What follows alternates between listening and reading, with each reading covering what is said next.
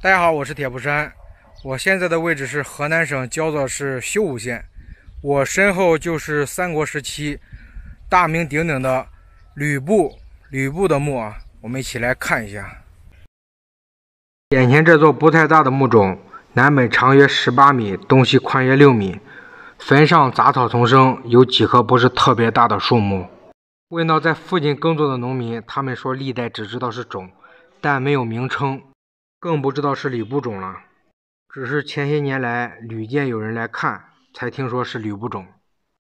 马中赤兔，人中吕布，三英战吕布的故事可以说是家喻户晓，但很少有人知道吕布死后葬在了修武县城东南六公里处的蓝峰村村北。如今的吕布冢已经成为了县级文物保护单位。吕布为什么会葬在焦作呢？查阅了《三国志》和《三国演义》等资料，没有直接证据证明吕布死后葬在了焦作。这里有一个神位，我们来看一下，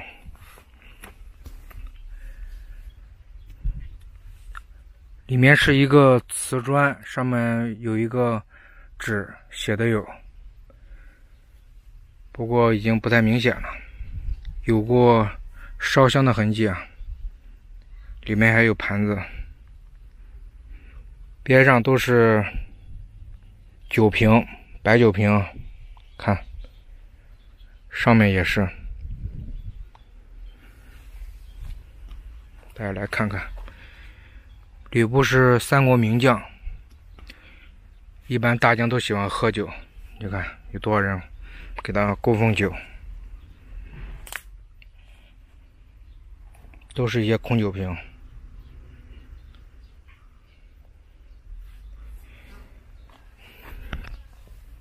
我也没有拿白酒，正好车里面有一个红茶，就供奉给将军吧。希望将军不要嫌弃。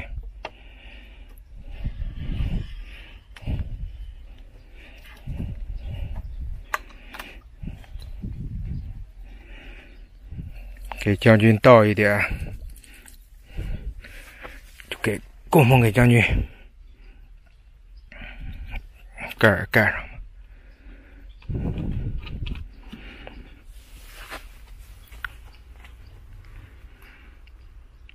能在这里碰到吕布大将军的墓冢啊，也算是一种缘分吧。吕布曾经在河内驻扎过兵，也就是今天的焦作。之后，王允又任命吕布为奋威将军，封地温为温侯，温就是现在的温县。